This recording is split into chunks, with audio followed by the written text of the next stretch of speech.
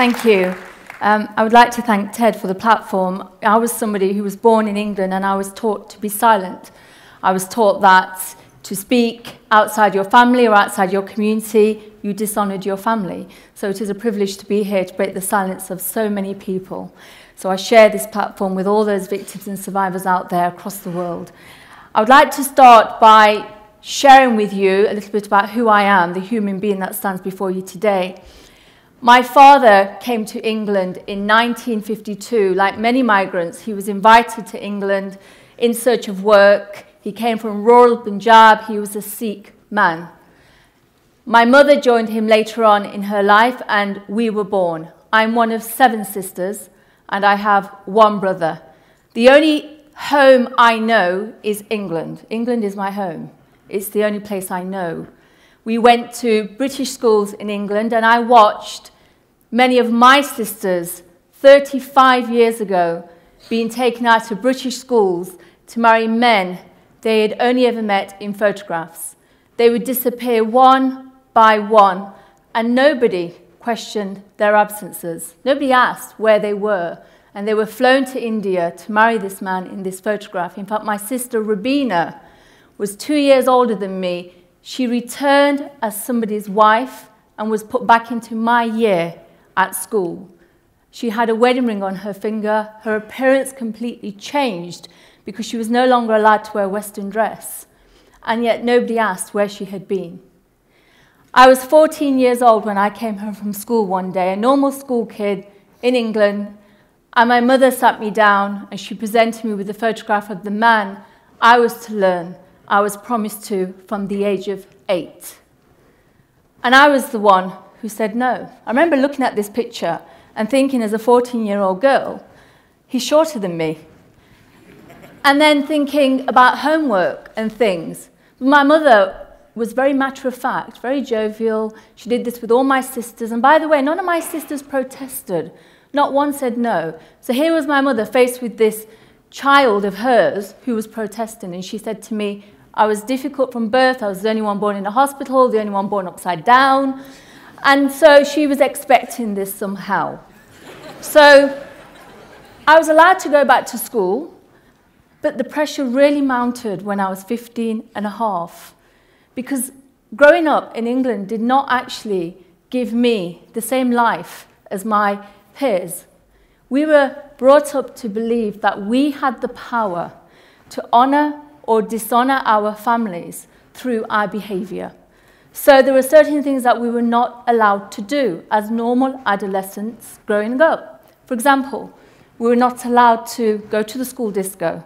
We were not allowed to cut our hair. We were not allowed to wear makeup. We were not allowed to even talk to a boy, let alone date a boy. We had to dress very modestly because all these things were deemed right and proper and honourable. So if we breached any of those codes, and I call them codes because it was conditioning. We were learnt to do this through our behavior, and we were ruled by fear. These were the rules of engagement, and if we breached them, we put ourselves at risk.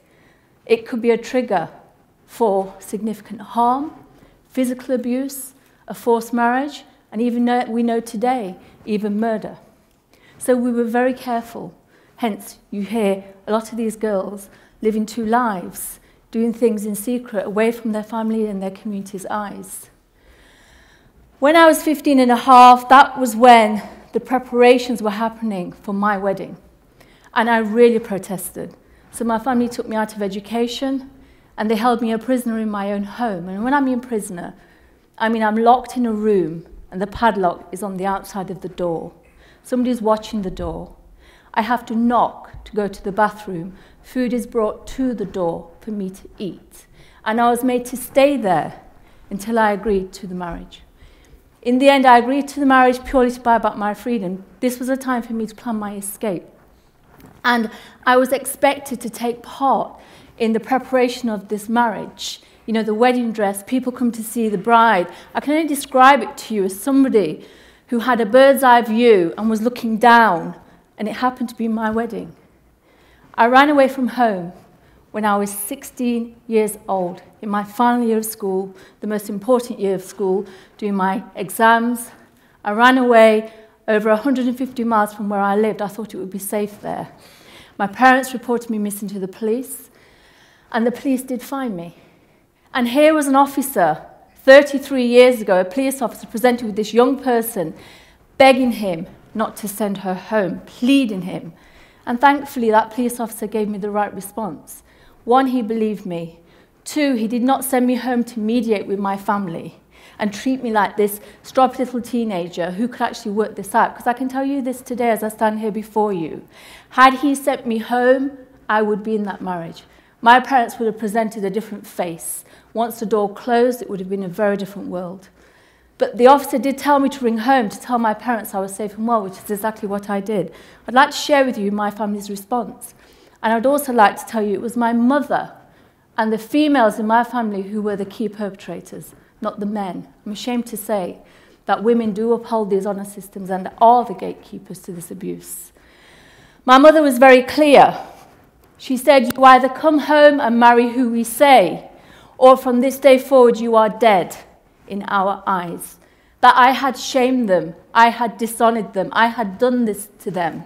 So here I was at a crossroads in my life, and I had a choice to make, and it was a choice. I could have gone back home to everything I've ever known, or be on the outside as somebody who was now disowned. I chose the latter. And there are many victims out there who have to make that choice. But what I didn't expect was disownment. It's like me asking you to imagine waking up tomorrow morning and never seeing a member of your family ever again, or never seeing your familiar surroundings and everything you love, and being made to feel it was your fault, because that's how they made me feel. I internalized that as guilt and as shame. I attempted to take my life twice in my teenage years. I felt horrible. Did I love my parents less? Had I done this to them? And I started to live my life, albeit without my family. I had a secret relationship with my sister Rubina. We would talk in secret. Sometimes disowned human beings have secret relationships with their siblings. And my sister Rubina suffered a horrific marriage. And she would tell me how she was being beaten up on a regular basis, psychologically and physically abused. And I would say to her, Leave your husband and come and live with me. I will protect you and look after you. And she would say, That's easy for you to say because you don't have to think about what people think. You don't have to think about honor, which translates as izzat, because she was right. I was disowned. So I begged her to speak to my parents, and she did. She spoke to them, our community leaders were called, and they all did the same thing. They all mediated and talked her into going back to the perpetrator. My sister was 24 years old when she set herself on fire and she committed suicide for whose honour? And my family's response was this it was better for her to take her life and not dishonour the family than for her to leave her husband. As a result of her death, I came out of hiding and established a charity called Karma Nirvana. That was established in my front room 20 years ago. And that charity is now a national charity and it goes on to support victims like Shafilea Ahmed. This young girl was born in Britain this young girl's crime in life was to have ambition. Her ambition was to be a lawyer. She wanted to be a normal adolescent. All those things you take for granted every single day are the kind of things we can be significantly harmed for. This young girl ran away from home many times. She went to five organizations, police, health, teachers, you name them, they were there. And she was telling them, this is happening to me. My family are abusing me because they think I'm too westernized. And if you don't protect me, they will take me abroad and they will force me into a marriage. Shafilea was very clear and she ran away from home several times and she was constantly talked into going back home. Because it's cultural, isn't it? It's what we do. You know, it's part of my culture. I can tell you this cultural acceptance does not mean accepting the unacceptable. It is not part of my tradition, culture, or religion to abuse anybody. And professionals need to wake up and own that as a fact. I know there are many professionals out there as I go on my travels who try to rationalize this. But what they did in her case, not in my case, thankfully, and I'm here to tell the tale, is that they try to sit down and mediate with perpetrators. Because the sad thing is, the people doing this to you are the people who are meant to love you the most your parents and your siblings, and your wider community. So in the end, Shafilea went back home after many times running away and telling people, and she's now on a plane to Pakistan. Her parents drugged her and put her on a plane to Pakistan. She's 16 and a half. And she's on that plane, she goes to Pakistan and she's presented with a marriage proposal because they wanted to deal with her being too westernized through a forced marriage. And she swallowed half a bottle of bleach in protest. She came back to Britain. She was in one of our hospitals in the UK on a ward for eight weeks where nobody visited her. And where was she? Where did they return her? The protective agencies back to her family. Within a few weeks, I can tell you, her mother and father murdered her. She was 17 years old. They held her down and they put a paper uh, carrier bag down her throat until it disappeared, suffocated her, and her siblings were told to watch. They were convicted last year of 25 years. This is what we call honour killings. We know there is no honour in an honour killing. However, the motivation for the crime is honour related. These are the kind of girls that ring our helpline every single day. I established the Honour Network helpline in 2008. To date, that helpline has received over 30,000 calls just in the UK alone. This is happening to people born in Britain. Please don't think that because I was born in the UK, I have the privilege of independence, of a free mind. That could have been me. And nobody could have told me this at 16. I have three beautiful children. It's the first time I'm sharing their picture here with you all. And nobody could have told me at 16 years old I was making that decision for the future. As a 16 year old, what do you know, really? You know, I just didn't want to marry a stranger. But the legacy is important, and we need victims to own, and I'm testimony to that, as are many thousands. You can live your life, or be disowned. We know, and I miss my family terribly. I do. You know, I was the only one that graduated at university. I hadn't read a book until I was 27 years old. It's the first time I ever read a book in my life. And I achieved my degree, and I got a first, by the way. And I remember wanting my father to be in the audience, but my father wasn't there. He refused to come. When he died, he left me an executor of his will. So he spoke a thousand words in his death. I remember for the first time going to my house where I was brought up, opening the door, going into his bedroom, and in the corner of his wall was my graduation picture on the wall. But he couldn't say that when he was alive. And I know that deep within him, he knew what was right. But the power of an honor system is so great that it only exists because people allow it to, not just within our families, but within our communities. When girls like Shafilea are murdered, I don't hear our communities crying out and saying this is wrong. I don't. I put myself at risk, yes, but I fundamentally believe there are thousands out there, just like me, like Shafilea, and we need to break that silence because nobody should have to go through with a forced marriage. And we do it, and we do it for the future. My daughter, Natasha, on the far right, when she was growing up, I used to say to her, Natasha, whatever you do, do not marry an Asian boy. And she would say, Mom, you can't say that, that's racist. And I used to say, Natasha, no, you don't marry a boy, you marry a family. The reason I say to this to you is because I was her mother. I'd run away from home.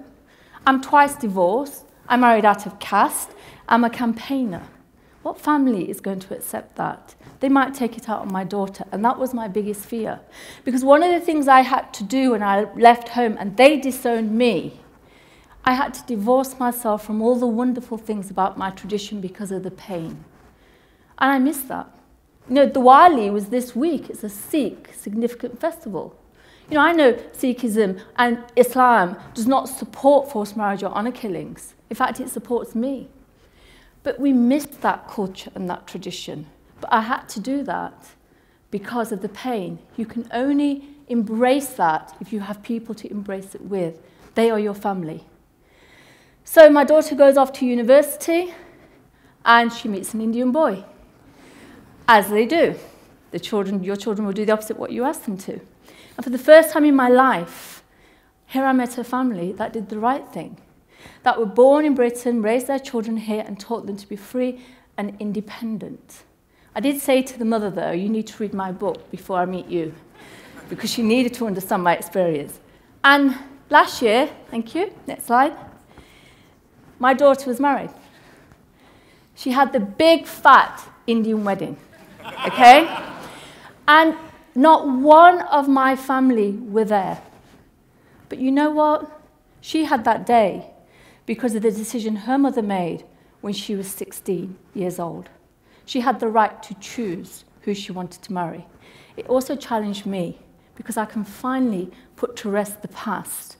The only time my life was on hold was when I beat myself up every single day for what my family had done to me.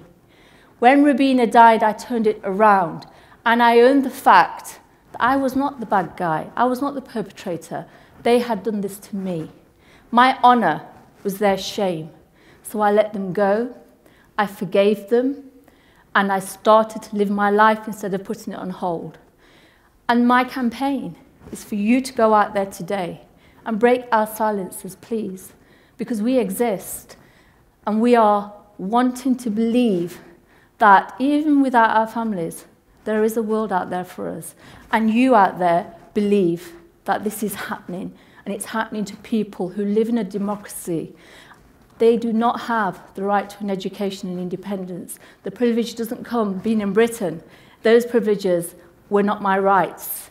My rights were taken away from me because I had a family who believed their rights trumped the rights of the country, being Britain. Thank you very much for listening to me.